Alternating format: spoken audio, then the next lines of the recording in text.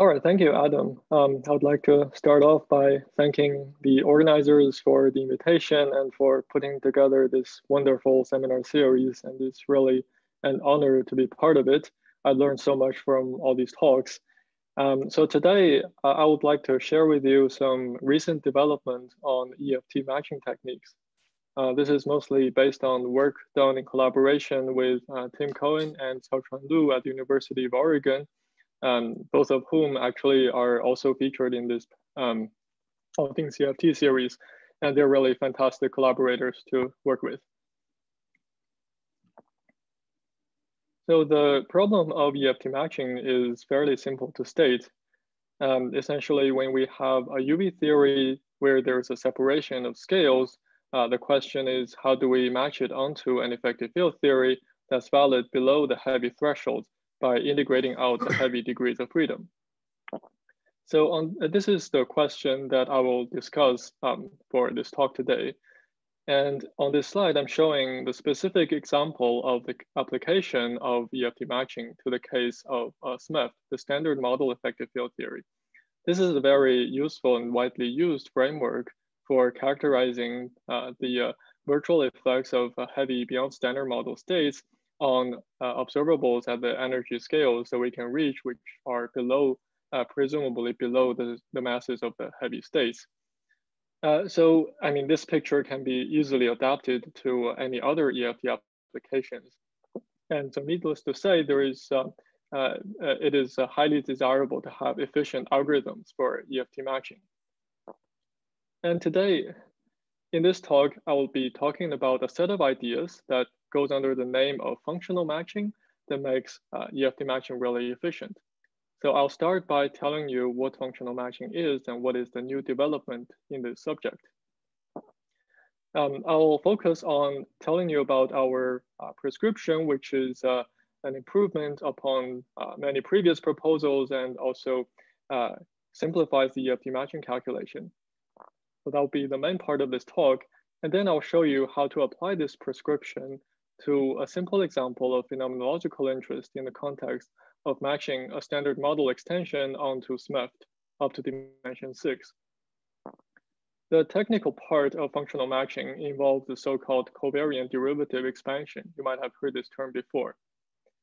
However, it is uh, a relatively like standalone um, module of the entire framework. So that's why I will postpone the discussion of this part until uh, the, the very end of the talk, uh, just to have a more coherent presentation of the main prescription.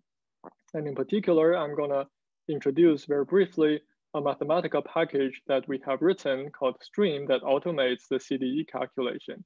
So STrEAM stands for Super Trace Evaluation Automated for Matching. Hopefully, this is a good name for something that um, streamlines EFT matching calculations. Let's get started with a toy model, um, just to introduce the concept of EFT matching in a little bit uh, more concrete way. Uh, let's write down a UV Lagrangian that has a heavy scalar field, capital phi, a light scalar field, lowercase phi, and let's just write down one interaction operator between them. In the EFT, obviously the heavy field is gone, and we have the light field. The question is uh, what uh, are the interaction uh, operators in the EFT. I'm going to talk about two ways of doing this matching calculation. The first way is that uh, we can first figure out uh, what operators should be present in the EFT. For example, obviously with uh, this interaction, we can write down these four point amplitudes, which means that in, uh, at low energy, there must be a set of um, uh, four point uh, operators uh, involving four powers of the light field phi.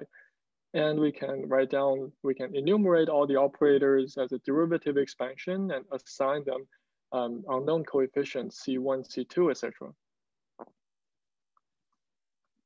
And then we compute the um, four point amplitudes, the same four point amplitudes in both the UV theory uh, with known coefficients, uh, known operator coefficients, and the effective field theory with unknown operator coefficients, and require that they uh, match each other. So this is what we usually refer to as matching.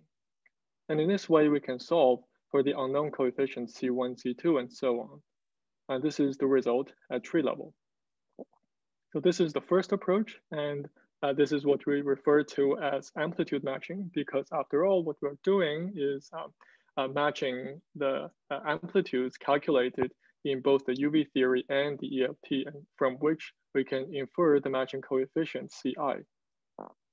From the simple example that I just described, we can extract several key ingredients in this amplitude matching approach. Kevin, uh, excuse me, can I intervene for a second? Yeah, please. Uh, in the previous Lagrangian, there is a potential tadpole for the heavy field because you have uh, a trilinear term, and then if I close a loop of, of a small phis, you can generate a tadpole. Are you worried about that, or you are just? Yeah, yeah, definitely. So uh, this is really just a toy example to illustrate uh, the calculation. I'm only writing down one operator. Of course, there are many other operators you can write down, and uh, generally any operators allowed by the symmetry should be able to write down. Yeah, but what I'm worried is that this theory maybe uh, may generate a VEV for big phi unless you. Yeah, at loop level, yeah, and um, you have to uh, define the uh, EFT around uh, the vacuum. The, okay. Well, but I guess I, I want. Well, I, am only going to talk about one loop in this talk, and at that level, uh, it might be fine just to uh, do the tree level VEV. Okay. Okay. Thank you. Yeah. Thanks for the question. So as I said, we can, from the simple example, extract several key ingredients um, of this approach. And in fact, although uh, they look pretty simple uh, in the simple model, in the simple toy model, but uh, things will become very complicated if we look at less minimal cases, uh, especially theories with more fields, higher spin fields, if we want to go to higher dimensional operators and higher loop orders. So first of all, what we do is that we have to work out a basis of EFT operators. So it's not completely top down. Um, it's not really deriving the EFT from the UV theory, but we have to figure out what the EFT looks like at the beginning. And working out a complete and non-redundant basis of EFT operators uh, is a rather non-trivial task. And then we have to identify a set of amplitudes uh, that are um, sufficient to solve for the unknown matching coefficients. This is also a non-trivial step. And finally, once we go to loop order, we often have to keep track of a lot of IR details uh, because we'll encounter IR singularities. But in the end, all of these IR singularities have to cancel in the final result for the matching coefficient because this is something that only encodes the UV physics. So there is in fact a more efficient approach that is also familiar to all of us. This is the second approach that I was referring to all we need to do at tree level is um, solve the equation of motion for the heavy field and plug it back into the UV theory Lagrangian. In the toy model at hand, this is what the equation of motion looks like. We can easily solve it and expand the solution um, in uh, powers of the derivative. And then once we plug it back in, we recover the same result that I just showed you a few slides ago for these two operator coefficients. So this seems rather straightforward. And indeed, it's completely top-down. Uh, we're really deriving the EFT from the UV theory. And in fact, what I just showed on this slide, which uh, all of us are very familiar with, is uh, nothing but functional matching at tree level. So this introduces the idea of functional matching. So what, I, what do I mean precisely by functional matching? The idea is that we want to match the generating functionals of amplitudes rather than the amplitudes themselves. the most familiar functional um, in quantum field theory is the path integral. When we write it as a functional of uh, uh, the sources J. So this uh, E of J functional is really the generating functional of connected correlation functions. In practice, uh, it's simpler to work with the Legendre transform of this functional, which is uh, what defines the 1pi effective action, one particle irreducible effective action. And this is the generating functional of 1pi correlation functions. And this is the quantity that we wish to match between the UV theory and the EFT. So we know how to compute 1pi effective actions, and let's just write down the results in a very general way. At leading order, what we get is just the classical action, which is the classical Lagrangian integrated over spacetime And at the next leading order, we get a log superdeterminant uh, of the second functional derivative of the UV action with respect to the fields. We want to be a little bit more careful. In the UV theory, we really have to talk about the one LPI effective action, the one light particle irreducible effective action. But at this level, it simply amounts to plugging in the solution to the equation of motion. in the EFT, the part we have to be careful about is that for each uh, effective operator, its coefficient generally has a tree level generated piece, a one loop generated piece, and so on. So we have to write them separately. So it's only the tree level generated operators uh, that should go into the tree level result. And at one loop level, there are two terms. Uh, one is the classical action, but with one loop generated coefficients integrated over space-time. So this represents one loop generated operators used in tree graphs. And the other term is uh, obviously the log super determinant. And inside of it, we can use just the tree level Lagrangian, tree level generated Lagrangian. So this represents the tree level generated operators used in one loop graphs. And by equating the calculations done in the UV theory and the EFT, we can write down general formulas for uh, matching. At tree level, this is just a familiar result, namely plugging in the solution to the equation of motion. At one loop level, the quantity of interest is uh, this one. It's uh, the one loop generated operator coefficients. And we see that it's just given by the difference between these log superdeterminants. And from now on, I'm gonna use var phi to represent the collection of heavy and light fields. So now the task is to compute these log functional uh, superdeterminants. And the simplest case uh, that uh, you might start by doing this calculation um, is where uh, when you take the second derivative uh, with respect to the field, you get a matrix if it's block diagonal, meaning that there is a heavy block and a light block. Then uh, we'll get the heavy loop and light loop contributions to the effective action respectively from these blocks. The light loops are also present in the EFT, and that's what the second term on the right-hand uh, right-hand side uh, contains. And so by taking the difference, we're subtracting off the light loop contributions, and it's only the heavy field contributions that remain. So this instructs us to uh, just take the heavy field contributions to the functional superdeterminant. And this is where the story started uh, back in 2014 in this paper by Henning Lu Murayama, where they basically revived uh, the function matching methods. but of course, uh, to go beyond this minimal case is uh, not so trivial um, uh, because generically uh, you would expect some non-zero entries uh, in these off-diagonal elements of this uh, huge matrix. So these are what we usually refer to as mixed heavy light contributions to matching. And in fact, after the uh, Henning Lu Murayama paper in uh, uh, 2014, there were a lot of activities, especially uh, during the year 2016, um, when um, many of us in, worked to um, figure out how to include these mixed heavy light contributions. And we explored different approaches. And by the end of that year, it's, it was already fair to say that this is a, a solved problem. To understand how to include these mixed heavy light contributions, let's take a closer look at the second term. So as I said, this represents the tree level generated operators used in one loop graphs. And so for example, for this amplitude, uh, that's uh, part of the uh, first term on the right-hand side, that's uh, uh, a, an amplitude in the UV theory. Uh, what the second term does is shrink the heavy propagator to a point because this is what we do uh, in tree level matching. and the crucial statement is that these two are not equal.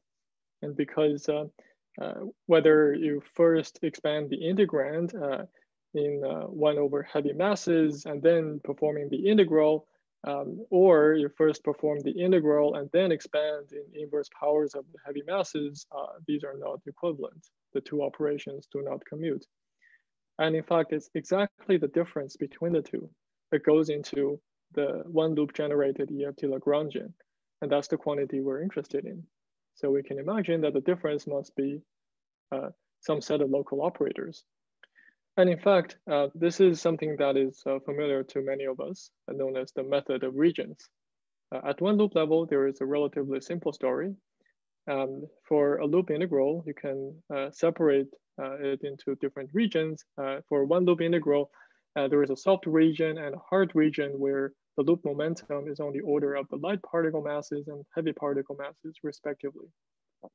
And the statement is that once you expand the integrand, in each region and uh, perform the integral. And then in the end, add up the results, you will recover the full loop integral. So intuitively, in the soft region, um, there is a soft momentum running through the loop, so it cannot resolve the heavy propagators. All the heavy propagators just shrink uh, to local operators, and these are tree-generated local operators, and that corresponds to this first graph on the right-hand side. In the hard region, we have a hard momentum running through the entire loop. So the entire loop would shrink to a point, and that's encoded in the local operators in the EFT Lagrangian generated at one loop level. And this is represented by the second term. So from this, it's pretty clear what this uh, method of regions is really doing. And we also know that the quantity of interest to matching calculations, uh, this one on the left-hand side is simply given by uh, the hard region contribution to this log superdeterminant. So this is the central formula that was established uh, in these references back in 2016, and especially in this paper by uh, Javi Fuentes Martin and others, uh, where they uh, first made the very clear connection to the method of regions. So now we have the master formula. It's still at the very abstract level, but I would like to uh, emphasize that uh, what makes the functional approach really powerful is that uh, there is an elegant procedure to compute this superdeterminant. Uh, there are two crucial ingredients. One of them I already talked about, the method of regions, which means that we just need a hard region contribution. There's no need to keep track of any IR details. That obviously simplifies the calculation. And the idea is simply that we're extracting uh, just enough information from the UV theory in order to figure out the uh, EFT Lagrangian. The second key ingredient is the technical one that I also alluded to at the beginning, the covariant derivative expansion or CDE. So this is uh, the part that I will uh, talk about uh, toward the very end, but for now, uh, uh, it suffices to remember that this is just an expansion, a systematic expansion where we can work with gauge covariant quantities, uh, including the covariant derivatives and the fields. So if we work with these quantities uh, in all the intermediate steps of the calculation, we will automatically end up with gauge invariant operators in the final result. And there is no momentum space Feynman rules and no uh, tricky factors or two. And also it's worth keeping in mind that this is uh, this can be thought of as an extension of uh, the classic uh, Coleman-Weinberg potential calculation to include uh, also the derivative, derivative terms in the uh, effective action. So these ingredients uh, were already established, as I mentioned, back in 2016. Um, however, um, I guess it's fair to say that the situation was not totally satisfactory. Uh, one thing is uh, that there were uh, there was quite some freedom on how to put these ingredients together, and some ways of organizing the calculations might um, be more complicated than others. And also the CDE itself can be very tedious, especially if carried out by hand. So this is basically what motivated the three of us, Tim, Xiaochuan, and I, to um, revisit this problem last year. And we basically started by asking ourselves, um, can we, uh, given all these proposals uh, in the literature, can we further simplify the procedure to make it uh, more easily uh, used uh, by the wider community. And in fact, we achieved just that um, in these two papers that we published toward the end of last year. So we uh, proposed a streamlined prescription that involves some technical improvements um, compared to the previous approaches. And also uh, we have written a Mathematica package called STrEAM that automates the most tedious part of the calculation, the CDE. At the same time, we were actually quite excited to learn that we were not the only people interested in doing this. there was uh, also a group based in Europe, uh, Javi Fuentes Martin and, and, others that did something very similar at around the same time. And I also had um, uh, a Mathematica package that automates part of the calculation. That's really nice. So that's the introduction part of the talk. Um, so now I'm moving on to uh, describe the prescription in a bit more detail. So how to do functional matching calculations concretely. So let's start by carrying out a few steps that are very general and very simple. Starting from the log superdeterminant, um, the first step is to rewrite it as supertrace log. And then we have to ask ourselves, uh, what is the second functional derivative of the UV theory, Lagrangian? Very generically, we can expect to have uh, an inverse propagator piece, uh, including the kinetic and mass terms, and an interaction piece. We'll call these K and X respectively, and these are matrices. And then we can rewrite uh, this K minus X in terms of, um, well, the log K minus X uh, as a sum of two terms and expand the second term in powers of um, the interaction matrix X. So in the end, we get uh, two types of supertraces that we refer to as uh, log type and power type for obvious reasons. So in the next few slides, I will uh, go a little bit more details into the uh, structure of the K and X matrices and then talk about these two types of supertraces in turn. The K matrix, um, as I mentioned, includes the uh, kinetic and mass terms uh, so uh, it, we can always go to a basis where it is block diagonal and the elements uh, take the familiar forms depending on the spins of the particles. And here I'm introducing the notation where um, P mu is ID mu. This is just a convenient way to write the covariant derivatives because it's a Hermitian operator. And for the interaction part, uh, we can very generically write down a derivative expansion. We can imagine that there is a zero derivative piece that we will uh, usually call U, and uh, there is a one derivative piece involving these Z matrices, and there are higher derivative interactions, and, and so on. So one technical note is that these P mu's are sometimes uh, referred to as open covariant derivatives in the sense that uh, they are um, operators, um, they're functional operators that act openly to the right. They act on everything uh, to their right. And this is to be contrasted with closed covariant derivatives, which we will always um, write within um, parentheses. For example, p mu phi in parentheses means i d mu acting just on phi. And we can also write it as a commutator between p mu and phi. So for those of you who have somewhat follow the story uh, since perhaps the paper by Henning Lu Murayama back in 2014, you might realize that the open covariant derivatives were actually not part of the story um, at the beginning. At the beginning, the focus was just on this uh, uh, U piece of the interaction. It was only later on that these are added uh, to the formalism.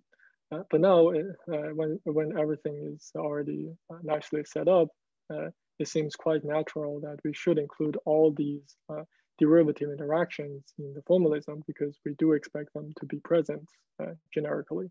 So our prescription can deal with these derivative interactions in a very simple way.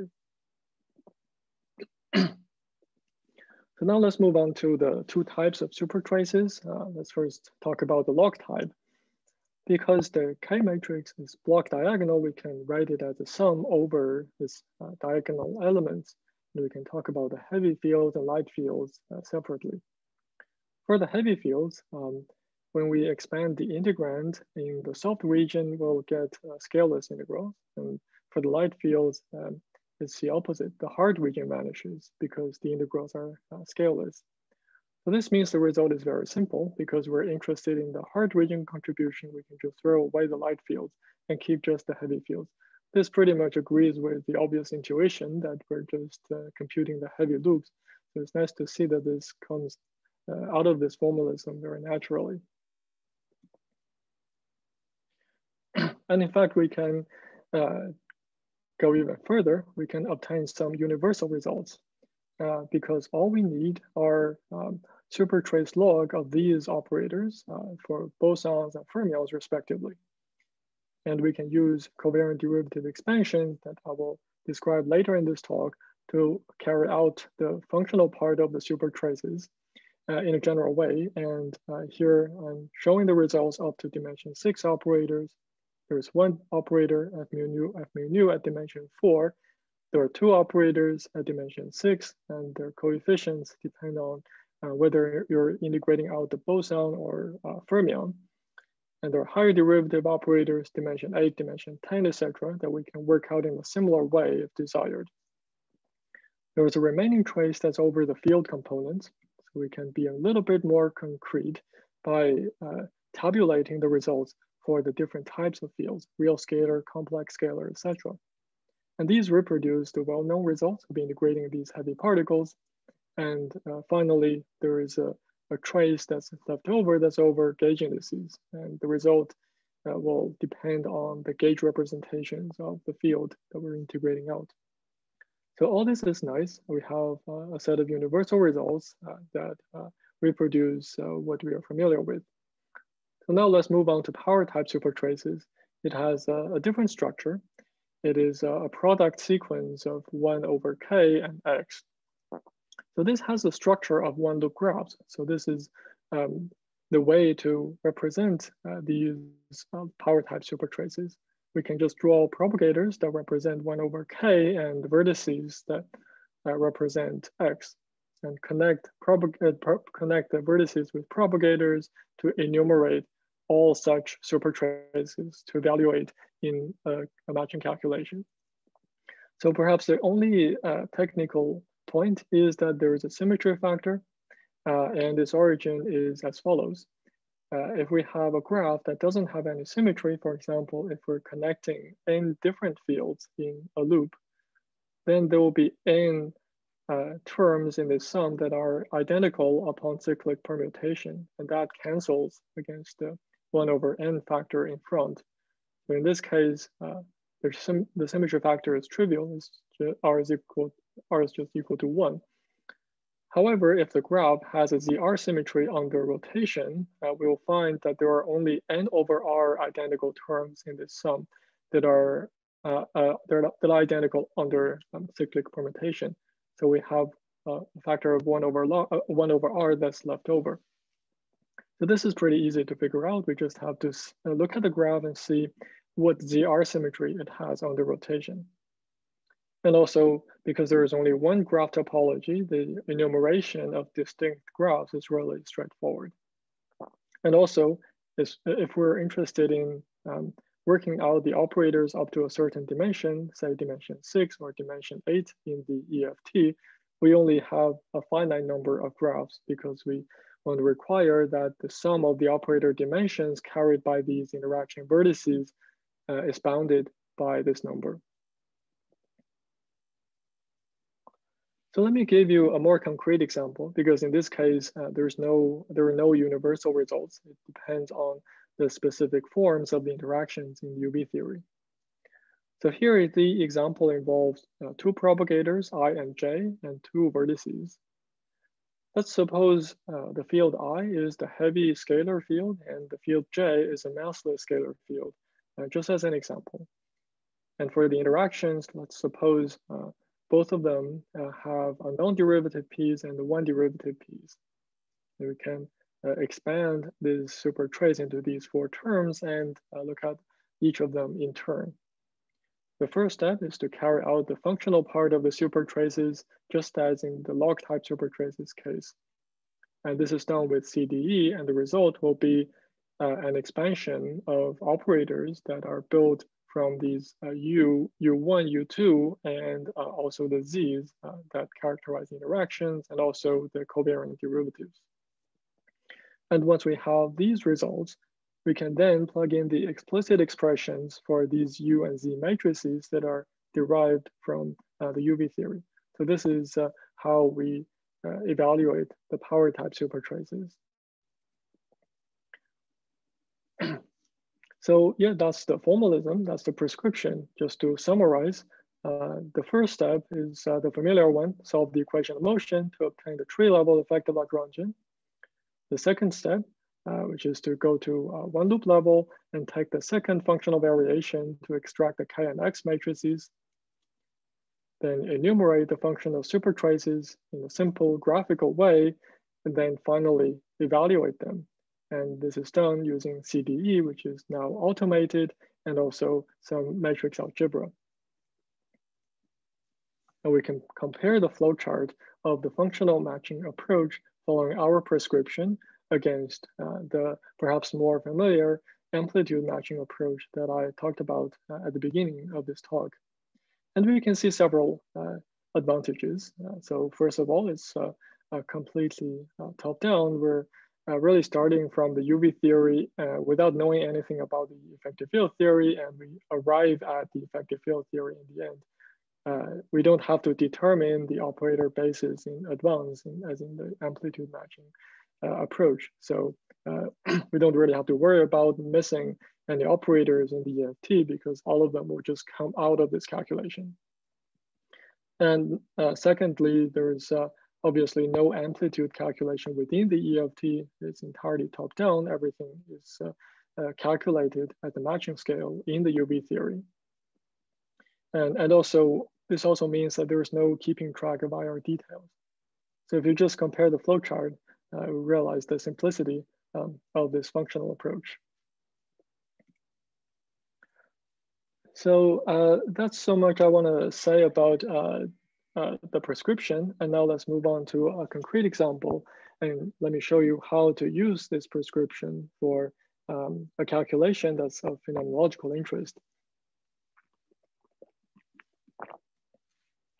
So the example I'm going to talk about is the standard model extended by um, a heavy singlet scalar field S, and it couples to the Higgs field via uh, these two operators, and also it has uh, uh, some self-interactions. So this is an example that has been uh, studied in several previous works using uh, both functional matching to obtain part of the results and also uh, amplitude matching, where they obtain the full results at dimension six. Uh, so we uh, took this example because this is something that we can really make a detailed comparison with the literature and to really make sure that our functional prescription is doing what we wanted to do. The first step is uh, the simplest one, the tree level matching. Uh, the heavy field equation of motion looks like this and we can solve it order by order. And once we plug in the solution, we obtain the tree level generated effective operators that involve the Higgs field. So this is pretty simple and familiar. And now let's move on to one loop level. In the second step, uh, we are going to derive the K and X matrices by taking the second functional derivative of the UV Lagrangian with respect to the fields. Recall that the K matrix has this standard form depending on the spins of the particles and it's just a matter of uh, figuring out the particle content of the UV theory. And here I'm writing out the particle content as a field multiplet. So it will it, it, it's a it's a large multiplet, meaning that the K and X matrices are large matrices. And so these include um, all the fields in the standard model plus the heavy singlet scalar field. Uh, for the Higgs field, for example, we have to include both H and H star because they both appear in the path integral. We have to integrate over both H and H star to um, in the path integral. And a similar story holds for the fermions. Uh, we use uh, F and the charge conjugation field, Fc, as the independent uh, field variables in the path integral. And as another technical note, uh, because the standard model fermions are chiral, whereas uh, on the other hand, we find it easier to work with four component Dirac spinor fields uh, because you can already infer from the way we write uh, this K matrix, it involves the gamma mu.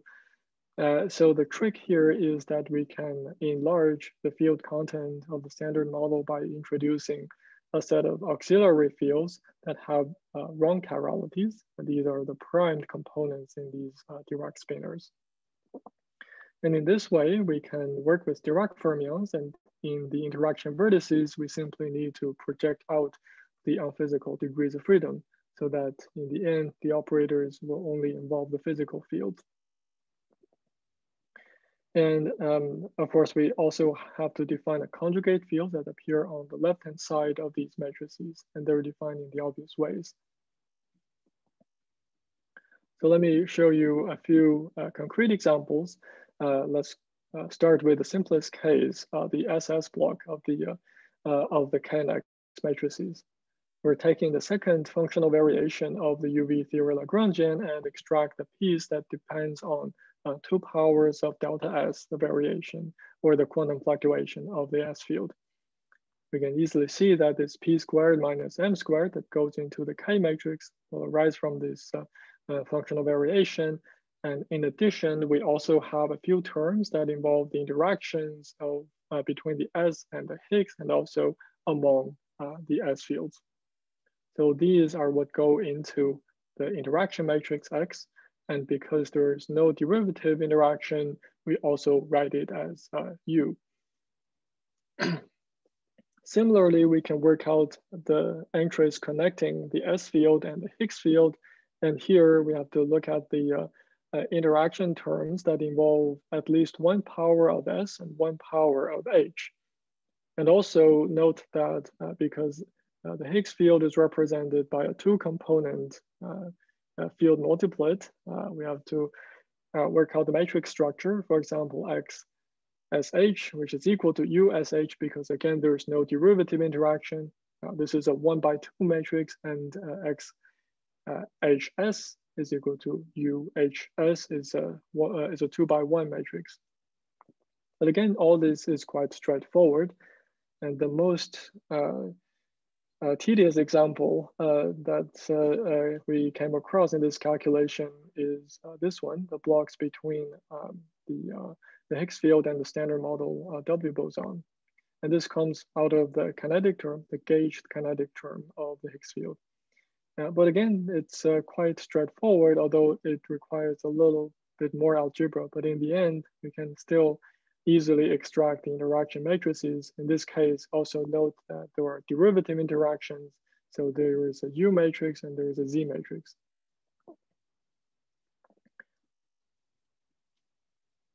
And we can carry out the same procedure to obtain all the elements of the interaction matrix. And here, I'm just pasting the uh, uh, equations in our appendix that show uh, all these results. So it does require a little bit of work, as I mentioned. It's a little bit tedious, but everything is quite straightforward. Um, and also, I want to emphasize that the rewarding part of this calculation uh, uh, is that the standard model part is actually done once and for all because uh, uh, no matter what standard model extension you're in, interested in doing EFT matching calculations for, you can recycle these results. So now moving on to the next step, um, enumerating the supertraces. Uh, recall that there are two types of supertraces, uh, log type and power type. In this case, there's no log type supertraces because the only heavy field is a gauge singlet. So we only need to enumerate the power type supertraces, and we're interested in operators up to dimension six in the EFT.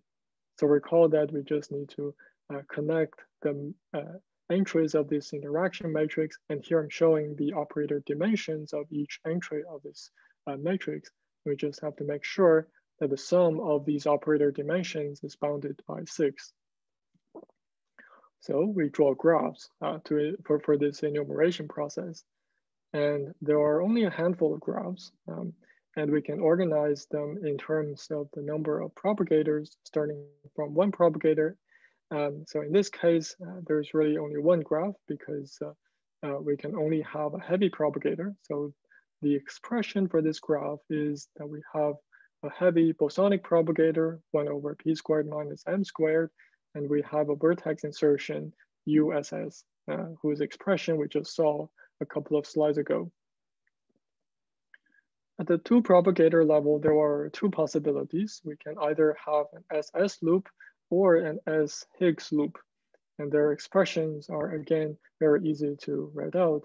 And uh, um, remember to include the symmetry factor one over two in this case because uh, there were two identical propagators.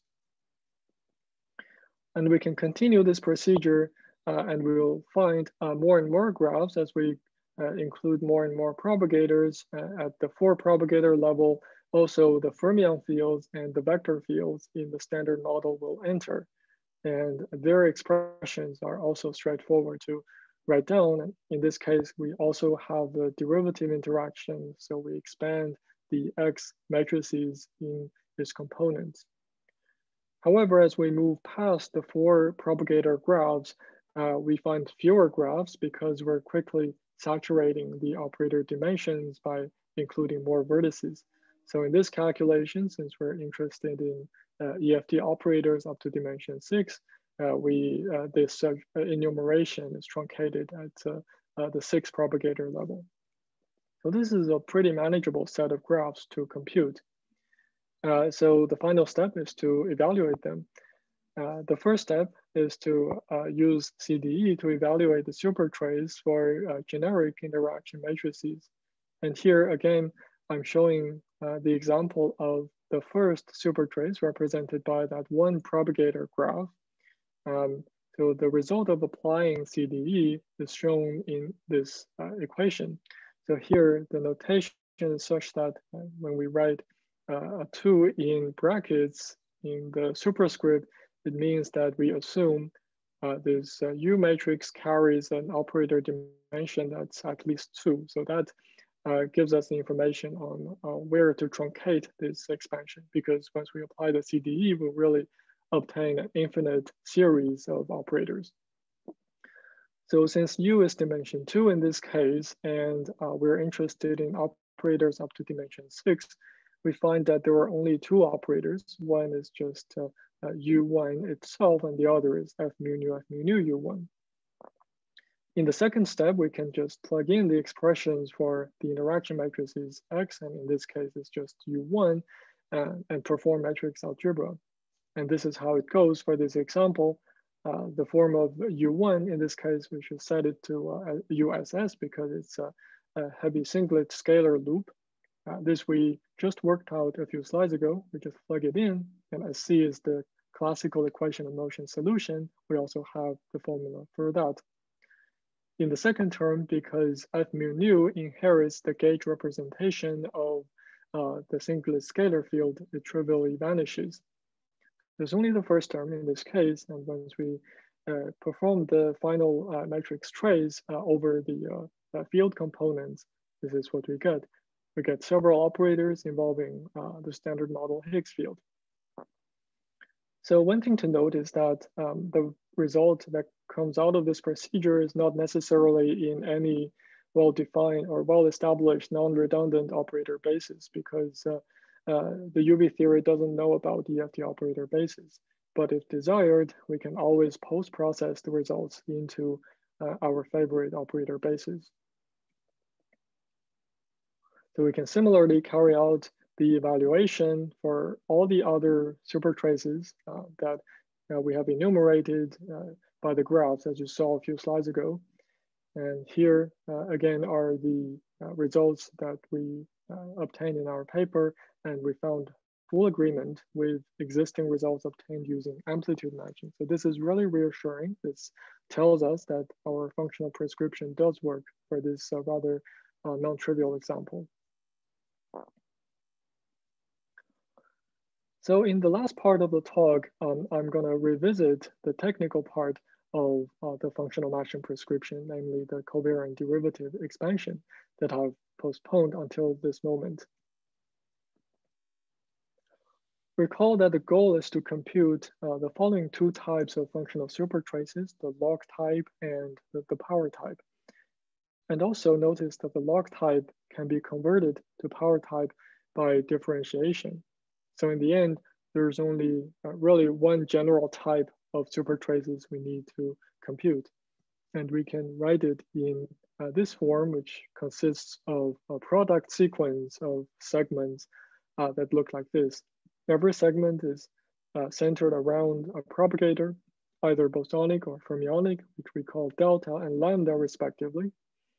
and there is an interaction U um, that by definition doesn't contain any open covariant derivatives. And then we can uh, insert an arbitrary number of open covariant derivatives uh, between these elements. So all the super traces that we will encounter in one loop matching calculations will take this general form. So let's look at how to compute these super traces. The first step is to address the super part of the super trace. So this is uh, the simple step. We just need to figure out the overall sign by looking at the first propagator block, uh, whether it's fermionic or bosonic, uh, tells us whether to have a minus or a plus sign. And next, let's move on to the uh, more complicated uh, functional part of the calculation. And uh, it's convenient to uh, formulate this calculation in the quantum mechanics language by talking about inserting a complete set of states in the Hilbert space. And in this case, we're using the plane wave states labeled by the momentum Q. And we can just uh, uh, figure out how the operators act on these plane wave states. In the end, the result is just that for each covariant derivative p mu, we have to shift it by the momentum carried by uh, the plane wave states. So starting from here, there are different ways to proceed, which correspond to different ways of formulating the CDE. Uh, I'm going to talk about two approaches. Uh, one is called uh, the simplified CDE, and the idea is to directly expand this f function in powers of p and u. Uh, this is obviously uh, very simple uh, to do. However, the drawback is that in this process, we will produce non-gauge invariant terms for example, if we have um, a p mu that appears on the rightmost of a term in this expression, uh, then we'll have explicit um, powers of the gauge field, which is not gauge invariant by itself. Um, nevertheless, all these terms that are not gauge invariant will cancel in the end in the final result as they must because we always end up with gauge invariant operators. Um, however, these are uh, present in the intermediate steps. Of course, we can as well just turn the logic the other way around and use gauge invariance as a constraint uh, to reduce the number of terms to compute. So this is a trick that was used in uh, some of the previous works. So the idea is that um, we can, there, there's a way to figure out a subset of the terms coming out of this uh, expansion by keeping which uh, we can have in, enough information to solve for all the operator coefficients in the EFT.